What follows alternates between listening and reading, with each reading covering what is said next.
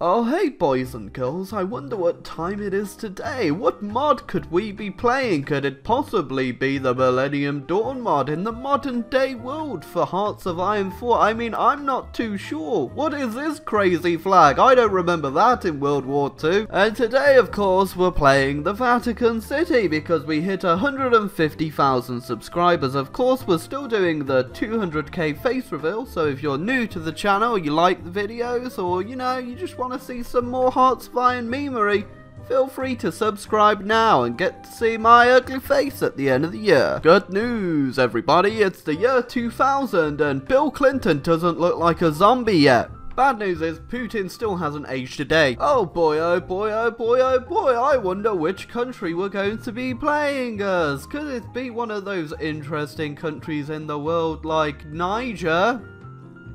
No, because I'd probably get th this video demonetized because it's too close to another word. Instead, we're going to be playing as a flea on Italy's back, and I'm sure this mod will have more depth to it than me just simply taking over all of Italy through one focus tree. It's a Vatican City! Stability! We won't need that where we're going, because you wacky, zane, intellectual people in the comments think it would be absolutely insane and hilarious if the leader of the Catholic nation actually went Islamic. I, I know. Good news is it's quite easy to go Islamic in this mod because there's only one person living here and he can change his mind at, you know, whenever he really feels like it because he's the fucking Pope. According to this mod though, the Vatican City is the leader of technological advancement in the world with our four research slots. Of course, I'm not entirely sure how the Pope himself can do all of this other than God whispering in his ear. Hey, that light tank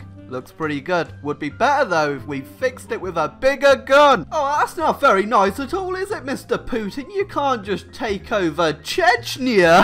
God. Well, would you look at that? I called it. I must be a prophet from God himself. He whispering in my ear, telling me what's going to happen. Everybody, kneel down and worship me. Oh, was that God 10,000 likes on this video and you won't have a damnation in hell? Well, guys, you best get liking the video. God wouldn't lie. There are four people now in the Vatican and I'm going to rearm!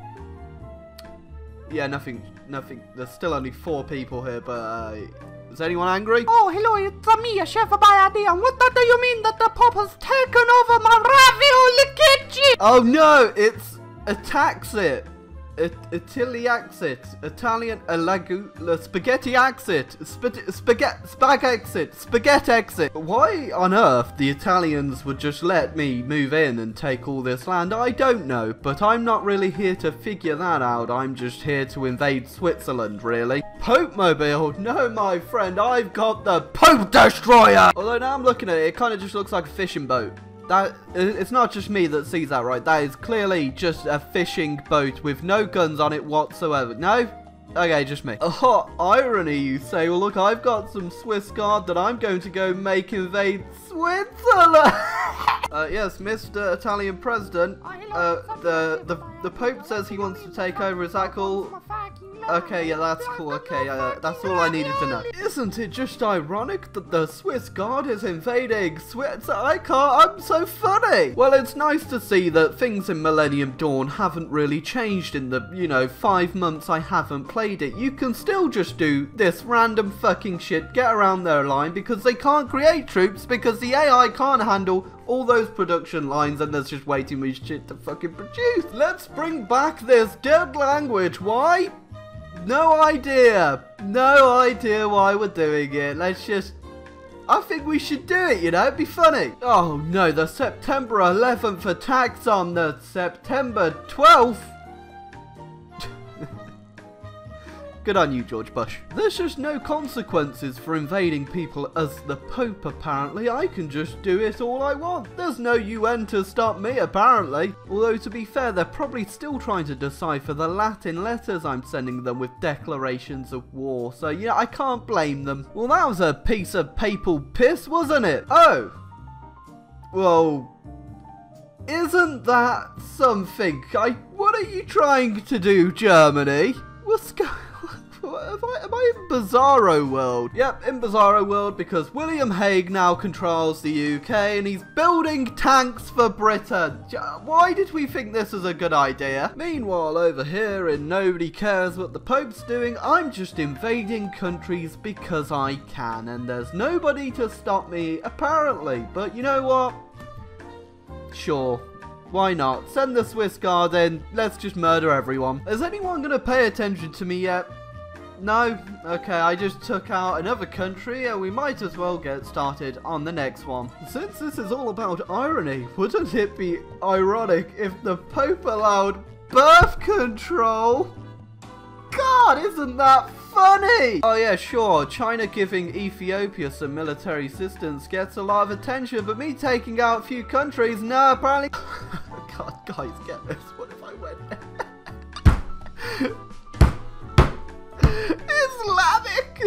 Pope!